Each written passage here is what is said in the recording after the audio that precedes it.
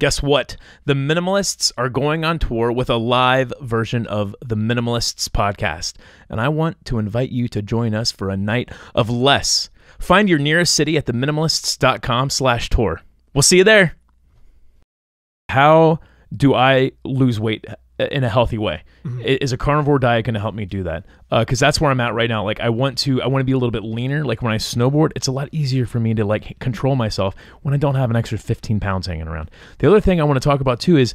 Uh, what unhealthy meats do you recommend people don't eat? Sure. Uh, or animal products, because uh, like egg yolks versus egg whites, and then also what if there was like say your top three vegetables or your top three plant-based things? Like okay, if you're gonna eat plant-based things, these are the only three things you should eat. Like what would those be? And you could start with any of that. Okay, right. You guys love just hammering Yeah, like, man. multiple questions. This is let me like- just let me this just is give you a fire hose of questions. This is like Jeopardy, man. It's like okay, this but is, but this is is good like though, man. pro 'cause You get to like- choose what you want to talk about. I want to talk about all of it. Let's start with the weight loss. Yeah. Weight loss, weight All loss. Okay, so weight loss, I think, at a basic level, boils down to calories in, calories out. Right. Like I could technically lose weight on a Twinkie diet if I just, absolutely yeah. could lose weight on a Twinkie diet. What what that equation misses is that the food you eat affects your satiety. Okay. And the more nutrient dense the food you eat is, the more satiated you're going to be, and the more enjoyable it's going to be to lose weight, and the more sustainable it's going to be to keep it off. Mm-hmm. Yes. That's Right? why if I just eat rice, I'm hungry an hour later. There's no- Exactly. there's no micronutrients. There's no in it. micronutrients in rice,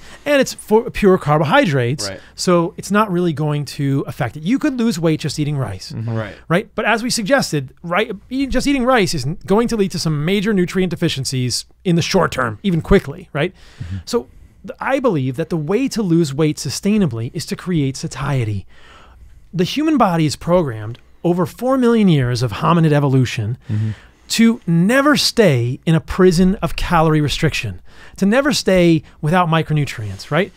That's not an evolutionary good thing for us. Okay. Evolutionarily good thing for us. That is starvation. You Yeah. don't want that, right? Right. So if you diet by simply limiting calories, Weight Watchers, etc., Mm-hmm. you're going to fail. Unfortunately, the majority of the time we fail because that is millions of years of evolution saying you can do it short term, but eventually. Right. It's, it's your not sustainable. your body's going to break out of that prison. Yes. So I think that a carnivore diet could be very helpful for you.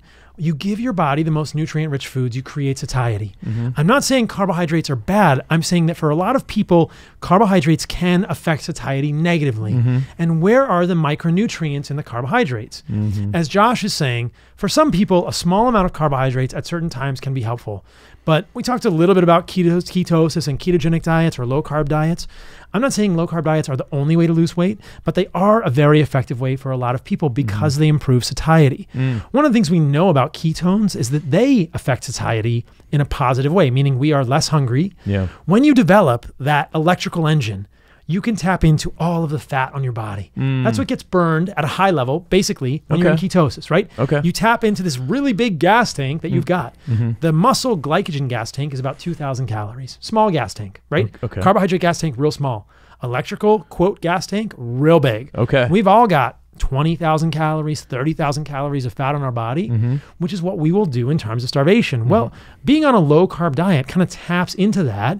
You're more satiated between meals. You can go longer amounts of time between meals, and it's easier to limit the calories you consume. It puts you in less of a sort of satiety prison. I found I wasn't ever So- getting hangry when I was Exactly. on, on a low carb. So what I'm hearing you say, Paul, is you. I need to. Uh, the, the reason why carnivore would help me is because I'm going to feel satiated, and uh, that's going to tap into some fuels that I'm not used to burning.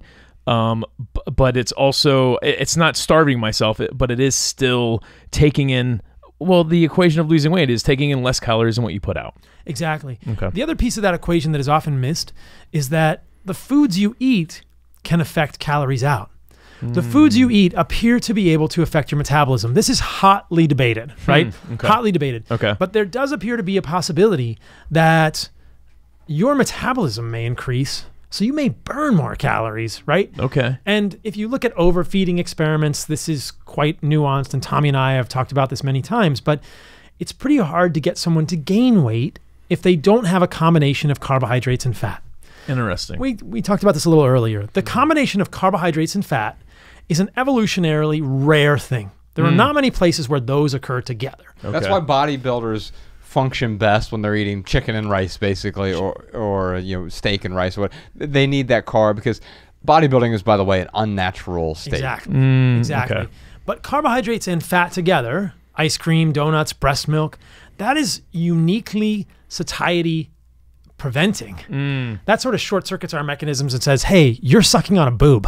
Keep going, dude. Right. Like, you're going to get real fat. Like, this is good for you, right? yeah, yeah. Uh, milk is hard to stop eating. Uh, cheese is hard to stop eating. So, what is a very what is a reasonable strategy for people losing weight is to limit either fat Hmm. or carbohydrates. We know that low fat, high carbohydrate diets can work for weight loss, Interesting. and high fat, low carb diets can work for weight loss. It's Hmm. more difficult, but doable. Yeah. To do moderate carb, moderate fat. So Yeah. it's totally doable. You just have to be a little more disciplined and really be appreciating that processed foods will short circuit your satiety mechanism. So the first thing for you is alcohol, Yeah. right? Get rid of that, Cut you'll it lose out. weight right All away. Okay. Second thing, get rid of processed foods. Don't Mm-hmm. short circuit your satiety mechanisms. Your body is not going to stay in a satiety prison. It has not done it for four million. It will not do it. You will cheat, right? And more things are processed than we realize, right? Yes. Sure. So, so a lot of the things we think of as as natural are actually processed. If it's got a label, if it's in a package, It's probably processed. probably processed, Yeah. Right. right? Okay. And then thirdly, you can certainly do a low carb strategy like carnivore, but you don't have to.